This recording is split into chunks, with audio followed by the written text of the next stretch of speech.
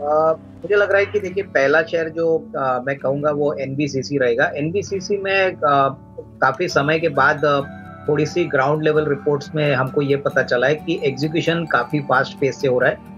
Company अभी भी पूरी तरह से कर्जा मुक्त है और सबसे बड़ी बात यू नो कंस्ट्रक्शन और रियल एस्टेट का इनका जो वर्टिकल है प्लस जो यू नो ओवरऑल ईपीसी का बिज़नेस है वो काफ़ी अच्छी तरह से चल रहा है। तो इनका नज़रिया अगर कम से कम साल भर का है तो मुझे लग रहा है कि कम से कम पैंसठ का लेवल पॉसिबल है। यहाँ पे थोड़ा सा पेशेंस इनको यू नो ज़रूर रखना चाहिए। रही बात एल टी फूड्स की तो एल टी फूड्स में डेफिनेटली थोड़ा समय और लगेगा। कंपनी अभी भी पूरी तरह से अपने ऑपरेशन ब्रेक इवन नहीं कर पाई है, लेकिन डेफिनेटली ओवरऑल जो टेलविंड्स है, बासमती राइस एक्सपोर्ट्स के लिए, वो काफ़ी अच्छी तरह से इम्प्रूव हो चुके हैं। गवर्नमेंट ने यू नो इंडियन कंपनीज़ को अप्रूवल दिया है कि वो मिडिल ईस्ट और यू नो इराक को वापस अपने राइस एक्सपोर्ट्स कर सकती है। तो ये डेफिनेटली एल टी फूड्स के लिए काफ़ी फ़ायदेमंद रहेगा। यहाँ पे भी मैं समझता हूँ कि इनका जो branded B to C business है, यहाँ पे काफ़ी अच्छी तरह से हमने देखा है कि ब्रांडिंग काफ़ी पॉपुलर है, ये प्रोडक्ट काफ़ी अच्छे चले। तो यहाँ पे भी अगर निवेश छह से बारह महीने की अवधि ये रखना चाहते हैं तो डेफिनेटली ये लॉस ज़रूर कवर हो सकता है और इसमें कोई डाउट नहीं कि इनको लॉस में ये पोजिशन बुक नहीं करनी चाहिए। तीसरा शेयर कौन सा था?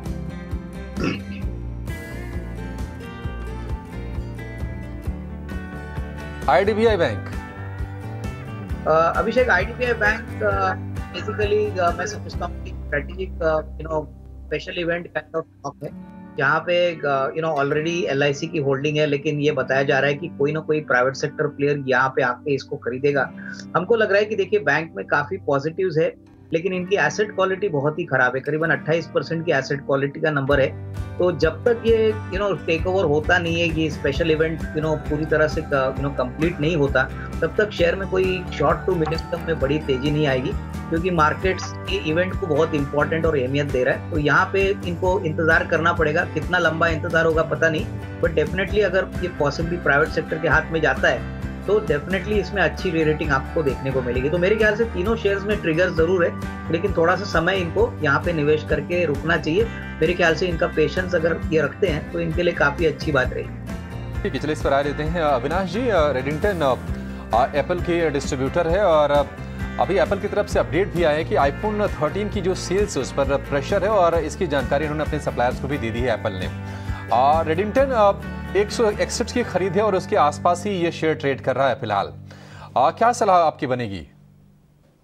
देखिए, अभिषेक, मुझे लग रहा है कि रेडिंगटन एक ऐसी कंपनी है जो डिस्ट्रीब्यूशन स्पेस में बहुत वेल एस्टेब्लिश्ड है। इनकी काफ़ी कम कंपनियाँ हैं जो ये काम इतने एफिशिएंटली करती है और इनका जो you know main trigger point होता है, जब भी एप्पल कोई नया प्रोडक्ट लॉन्च करता है तो डेफिनेटली इनके लिए यू नो ऑब्वियसली सेल्स और मुनाफे में काफ़ी यू नो इजाफा होता है। तो मुझे लग रहा है कि ये ऐसा शेयर नहीं है जो यू नो आपको हर दिन कोई ना कोई मोमेंट देगा।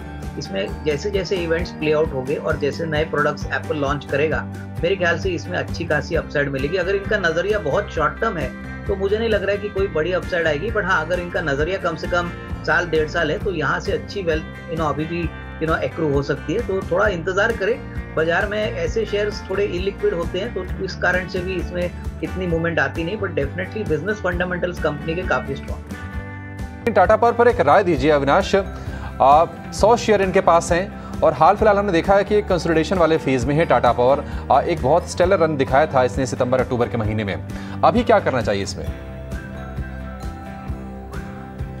कम से कम डेढ़ दो साल का है तो टाटा पावर में पोजिशन होल्ड करे।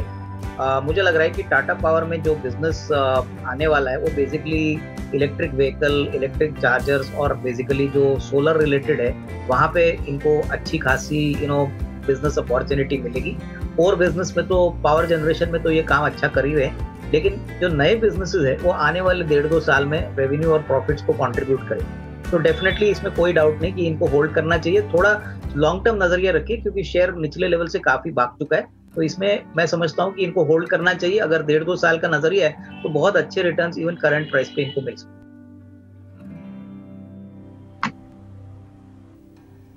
सन फार्मा पोजीशन होल्ड करे। आ, मुझे लग रहा है कि देखिए सन फार्मा में आने वाले सत्र में उनका जो स्पेशलिटी बिज़नेस है वो काफ़ी अच्छी तरह से स्केल अप होगा। मैनेजमेंट ने भी कहा है कि मार्जिन स्पेशलिटी बिज़नेस से अच्छी तरह से बढ़ेंगे प्लस कोर बिज़नेस जो उनका यूएस मार्केट आता है, वो भी अच्छी तरह से तेज़ी से बढ़ रहा है। तो हमारा मानना है कि अगर ये कम से कम ट्वेल्व टू फिफ्टीन मंथ्स का नज़रिया रखते हैं तो करीबन साढ़े नौ सौ, हज़ार रुपये का भी टारगेट प्राइस पॉसिबल है। तो यहाँ पे निवेशित रहिए। यहाँ पे मुझे लग रहा है कि कोई भी गिरावट अगर आती है तो बाय ऑन डिक्लाइन वाला शेयर है। इसमें कोई डाउट नहीं कि आने वाला साल इनके लिए काफ़ी अच्छा रहेगा। टीसीएस के पास इनके 10 शेयर्स हैं और इनकी खरीद का भाव thirty eight hundred and fifty rupees है। और साथ ही कोलगेट इन, इसके 50 शेयर्स ये होल्ड करते हैं और 1750 इनके टारगेट्स हैं। दोनों ही दिग्गज कंपनीज़ हैं, पर इस पे आप क्या टारगेट्स देख रहे हैं दोनों के लिए?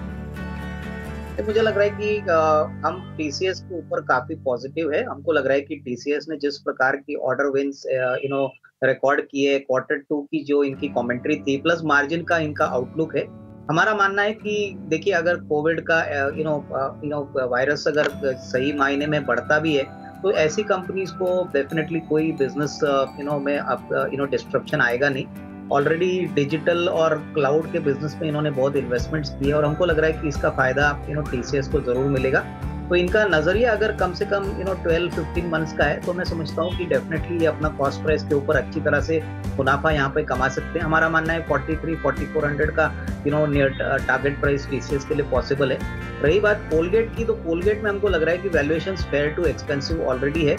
इन्होंने जिस प्राइस पे 1750 में एंटर किया है, वो थोड़ा सा ऊपरी लेवल का है। यहाँ पे दिक्कत हो सकती है कि आने वाले एक दो क्वार्टर्स के लिए वॉल्यूम ग्रोथ थोड़ा सा टिपिड रहे। हालाँकि यहाँ पे भी हमको लग रहा है कि यू नो जो दूसरी दिक्कत कोलगेट को है, वो ऑलरेडी एक बड़े प्लेयर है टूथपेस्ट मार्केट में ऑलरेडी 75 78 परसेंट मार्केट शेयर करते हैं। तो इंक्रीमेंटल मार्केट शेयर बढ़ाना इनके लिए शायद थोड़ी सी दिक्कत की बात रहेगी।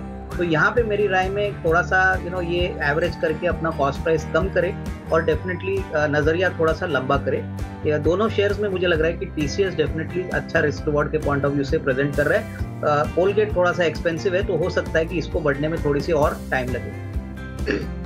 अभिषेक आई थिंक फिटलाइट में डेफिनेटली इनको निवेशित रहना चाहिए। देखिए बिज़नेस मॉडल कंपनी का बहुत स्ट्रांग है। अपने कैटेगरी में ये मार्केट लीडर है। और एडेसिव मार्केट में प्लस जिस प्रकार का इन्होंने प्रोडक्ट एक्सपेंशन किया है एमसील से, इन्होंने काफ़ी हद तक अपना कंपनी का जो एग्जिस्टिंग कैश फ्लो है, वो नए प्रोडक्ट्स में इंट्रोड्यूस किया है।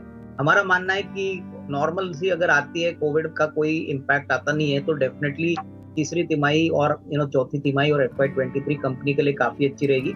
पिडोलाइट एक वेल्थ क्रिएटिंग स्टॉक है तो यहाँ पे शॉर्ट टर्म नहीं बट कम से कम साल, डेढ़ साल का अगर नज़रिया रखते हैं तो इसमें कोई दिक्कत नहीं है और कंपनी की जो अर्निंग्स ग्रोथ है वो बरकरार रहेगी। तो मेरे ख्याल से इसमें होल्ड करिए निवेशित रहिए, थोड़ा सा समय टाइम फ्रेम लंबा रखिए, यही मेरी राय है। देखिए, मुझे लग रहा है कि ग्राफाइट इलेक्ट्रोड्स की जो कंपनियाँ हैं, जैसे ग्राफाइट इंडिया एचजी है ये तब चलते हैं जब स्टील साइकिल पॉजिटिव होती है और स्टील के शेयर्स चलते हैं, क्योंकि इनका main customer you know steel और मेटल सेक्टर है।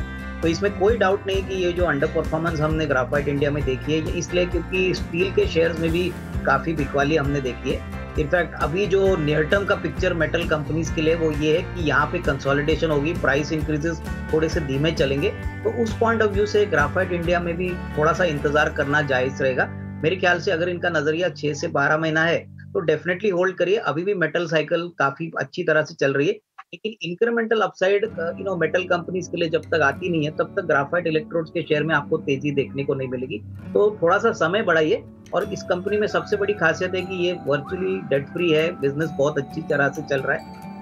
नहीं, मुझे लग रहा है कि अभिषेक इनको होल्ड करना चाहिए। देखिए, अभी मर्जर फाइनल स्टेज पे है और एक बार मर्जर को अप्रूवल मिलता है तो डेफिनेटली जी एंटरटेनमेंट को यू नो मार्केट्स एक एमएनसी प्लेयर के पॉइंट ऑफ़ व्यू से देखेगा। क्लियरली हम देख रहे हैं कि जो कंसोलिडेशन बेनिफिट्स आएँगे, वो काफ़ी सिग्निफिकेंट होंगे। हालाँकि इसका बेनिफिट आपको इमीडिएटली नहीं बट आने वाले छः से बारह महीने में देखने को मिलेगा जब मर्जर पूरी तरह से कंप्लीट होता है। तो मेरी राय में इन्होंने ऑलरेडी अच्छे भाव में खरीदा है तो मेरे ख्याल से निवेशित रहिए और डेफिनेटली जब जैसे जैसे न्यूज़ फ्लोज आगे आएँगे, वहाँ से आपको और थोड़ी सी क्लैरिटी मर्जर पे मिलेगी। तो I would suggest to hold on यहाँ पे और भी बढ़ने की उम्मीद है और काफ़ी इंस्टीट्यूशनल इन्वेस्टर्स एफ़ काफ़ी पॉजिटिव है। तो हमारा भी मानना है कि री रेटिंग ज़रूर होगी ऑब्वियसली मर्जर फाइनल होने के बाद। अविनाश जी, आप इस पर आ दीजिए। इनियोस स्टारियोल्यूशन मल्टीनेशनल कंपनी 1840 की खरीद है, लेकिन अब ये स्टॉक ट्रेड कर रहा है चौदह सौ रुपए के आसपास, यानी कि प्रति शेयर करीब चार सौ रुपए के आसपास का नुकसान हो रहा है। निवेशित रही या फिर कुछ और स्ट्रेटजी होगी? नहीं, मुझे लग रहा है कि देखिए, ये कंपनी के बारे में हम बताएँ तो ये बेसिकली एबीएस बनाती है जो काफ़ी you know high value added you know polymer है। इनकी कॉम्पिटिटर बंसाली इंजीनियरिंग है और इस कंपनी की खासियत है कि ऑलरेडी मार्केट्स में ऑलरेडी काफ़ी रिपोर्ट्स पहले भी चल रहे थे कि इस कंपनी को कंपनी को डीलिस्ट करने की you know you know possibility है। तो मुझे लग रहा है कि इनको होल्ड करना चाहिए। देखो बिज़नेस तो बहुत अच्छी तरह से चल रहा है नॉर्मल सी आ रही है तो ऑटोमोटिव कंज्यूमर ड्यूरेबल जैसे सेक्टर्स में इनकी काफ़ी अच्छी पकड़ है। तो मुझे लग रहा है कि हालाँकि उनके खरीदे हुए प्राइस से थोड़ा सा कम ज़रूर है लेकिन अगर ये कम से कम नेक्स्ट 12-15 महीने के लिए निवेशित रहते हैं तो ये एक एमएनसी कंपनी है तो डेफिनेटली इसमें वो एक ट्रिगर रहेगा कि कंपनी आगे अगर डीलिस्ट होती है तो इनके लिए काफ़ी फ़ायदा होगा प्लस ओवरऑल बिज़नेस प्रॉस्पेक्ट्स अच्छे हैं। तो थोड़ा सा टाइम इसमें निकालना बहुत इंपॉर्टेंट रहेगा तो मेरी राय में होल्ड करिए, इसमें लॉस मत बुक करिए।